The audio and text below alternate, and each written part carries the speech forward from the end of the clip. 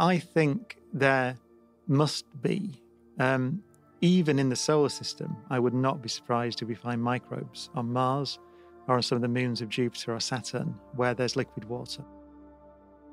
And uh, the reason is, if you think about the reason I think that, and it's a guess, is because if you look at the history of life on Earth, so Earth formed, there was no life, it was a ball of rock. And almost as soon as it cooled down, we see evidence of life.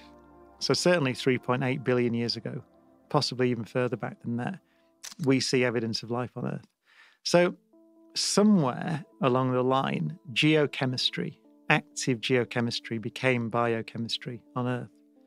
And we have some idea, you know, that, that if you get uh, gradients of temperature and acid and alkaline and the conditions that are naturally present on the surface of oceans, then complex carbon chemistry spontaneously happens.